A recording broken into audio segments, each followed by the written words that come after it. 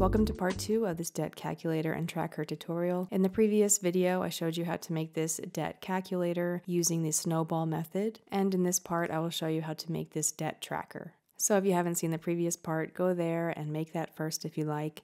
If not, this can be a standalone tutorial. There are just some areas that take from the previous tab, but instead of doing that, you can type in whatever you like here and all the formulas will still apply. But for the purposes of this being a second part, I'm just going to link the previous tab to this one. And as a reminder, I do have a template of this on my website if you just want to go download it there. In this debt tracker, the only thing you need to do is track the date of a payment and what the payment was. Everything else is automated, including this little pie chart over here, and it shows you the total starting balance, how much you've paid off, and the percentage paid off, and then the remaining balance as well. So let's get started. So we've made our debt calculator. Let's add a tab and label this debt tracker. Let's click column G and do Command Shift right arrow key or Control Shift right arrow key on a PC. Right click and insert 20 columns to the right. We're going to resize these columns real quick, so stick with me. Hold down the Command or Control button and select A, E, I, M, so every fourth one. Q, U, Y, A, C, A, G, AK, AO, and then we'll do the last two AS and AT. We'll right click, resize to 25. Now we're going to select all the columns to the right of each of these ones. So B, hold down the command or control button, F, J, N, R, V, Z, A, D, A, H, A, L, and that's it. Right click, resize, to 120.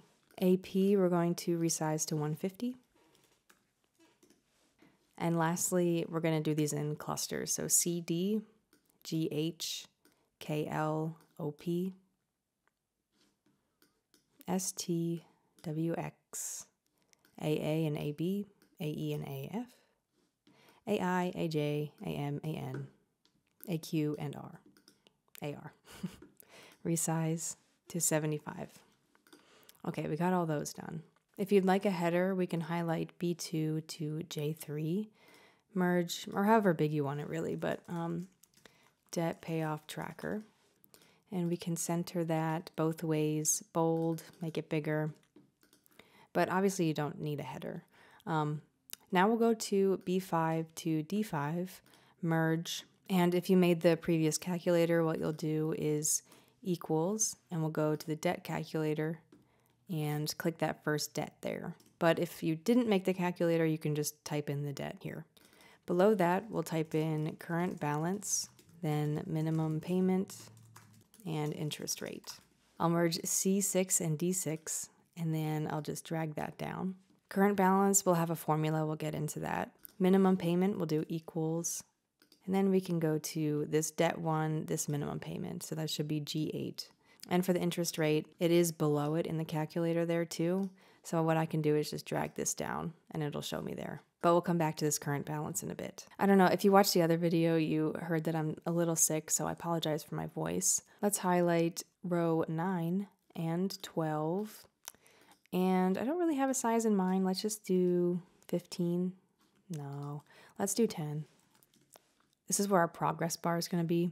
So I wanted it to be a little bit larger. I'll highlight B11 and C11, and we'll come back to that formula. But I'm just going to highlight these two and do all borders up here. And I guess I could do a border around this as well. I'll do the outer border and the vertical border. Then I'll just highlight the header there and do an outer border. I'll highlight this area one more time and do gray vertical borders. Okay, now in cell B13, date, then payment, then balance. Let's merge B14 and C14 and type in starting balance. And in here we'll do equals and select the starting balance from the previous tab, which was a 1,000. And I'll just highlight all these and do borders. Oh, make it black and then do all borders. In B10, type in paid off, and in C10, I can do D14, the starting balance, minus the current balance, which we'll get to. Let's make the borders for this first debt table. So what we'll do is go as far down as you like. I'll probably just go to 54 and I'll do an outer border, vertical border. And then go to this row, two rows below it, and then do Command Shift down arrow key. And let's just delete those rows. This is where you're going to be adding dates, so I'll just highlight that area, do data and data validation, add a rule and select is valid date and click done. So now when you double click into the cell, you have a date pop up.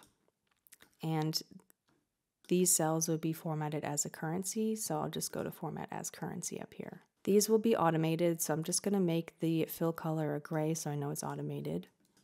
And this formula will be if, parenthesis, C15 less than, greater than, quote, quote, comma, parenthesis, D14 minus C15, parenthesis, comma, quote, quote, parenthesis. So I'll just put $100 in there and we'll do the current balance formula now. Let's do equals if B15 is greater than 1, comma, parenthesis, V lookup, parenthesis, max, parenthesis.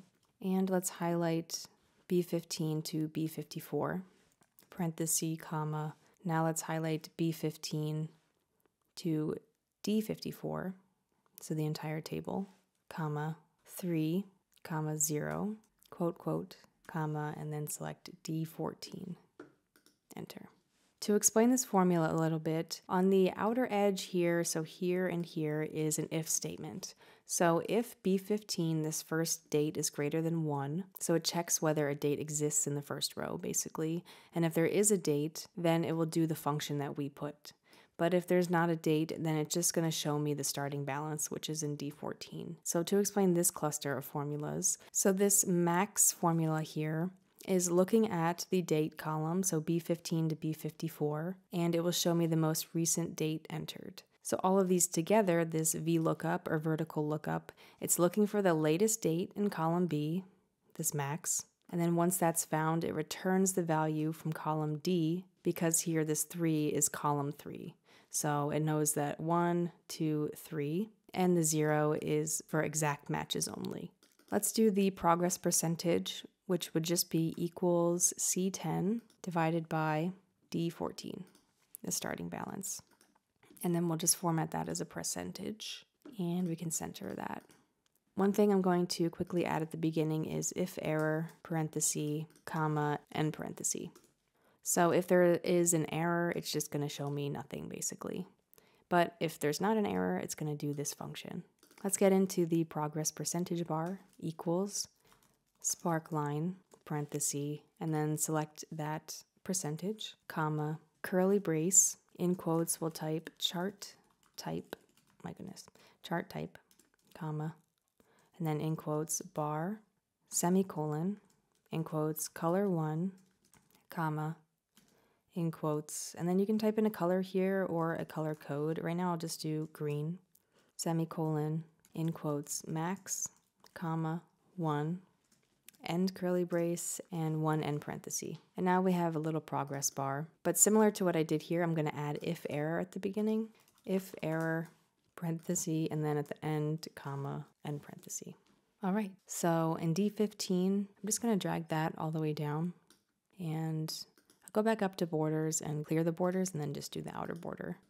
I'm going to click this rectangle to highlight everything and I'm just going to do center alignment both vertically and horizontally. Now's a good time to do some fill colors. I'll do a green here, a blue, maybe a gray, and I'll do the gray horizontal borders if I didn't already. I'll put an outer border around the header maybe and make it a pink. Okay, so now we can just copy and paste nine times. And we may have to go in and refill like the debt name and stuff, but so I'll delete this really fast and I'm going to highlight everything and copy and paste it nine times. But you can ignore the things that are pasted. We're going to go in and fix everything. Okay, so in this cell, we're going to go back to the calculator and select debt 2. The minimum payment for debt 2. And we can drag that down. This adjusted, so we don't need to do anything there. This is good, this is good. We can change this to a currency format though. And do that border. And we'll be sure to fix the starting balance as well. And then just go through and continue filling in all the debts. It's a little tedious, but worth it. All you'll need to refill in is the name of the debt, the minimum payment, the interest, and the starting balance for each. So for this one, I'll do equals debt 4 equals minimum payment for debt 4. Drag that down and then just the starting payment. Okay, once you've got all that done, the last thing that we're going to do is the payoff progress table. So let's highlight AP5 to AR5 and title it Payoff Progress. Underneath, we'll do starting balance and then paid off, and we'll merge these two cells together.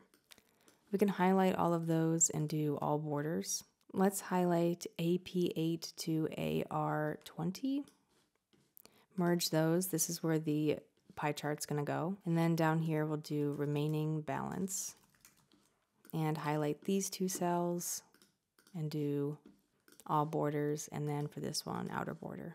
So the starting balance formula will be equals sum, and then we can actually just highlight D14 all the way. Okay, well, that's not working for me, so I'm going to AN14. So all the way to the end here, and click enter. And for paid off, we can do the same thing, equals sum, and highlight this paid off row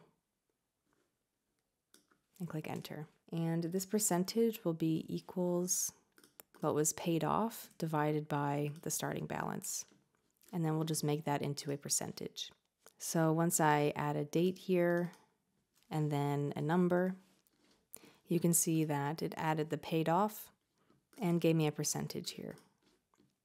And the remaining balance is equals starting balance minus paid off. Let's highlight AP6 to AQ7 and you can click Insert Chart. A pie chart will most likely pop up automatically. Let's select Donut Chart. We'll go over to Customize Chart Style and we can remove the background, remove the border color. We can go to Pie Slice and select our colors here. So starting balance, we can make like a light red. And then select the drop down, click Paid Off, and I'll make that a green. We can exit out and then kind of shape it into this area. I might go back to customize and the legend, I'll do none. Okay. And the last thing you can do is just go through and color code everything. As you make your payments, you can log them here and everything will adjust automatically. Now you may see when you add a date, it does go to 100, but as soon as you add a payment, then it'll go to its accurate percentage. The most important thing view, show, and uncheck the grid line. And there you have it. That is the end of the debt payoff calculator and tracker tutorial. Please let me know if you have any questions in the comments below. I do have templates on my website and also a Google Sheets course that goes a little bit more into Google Sheets. But that is it, and I hope you guys have a good day.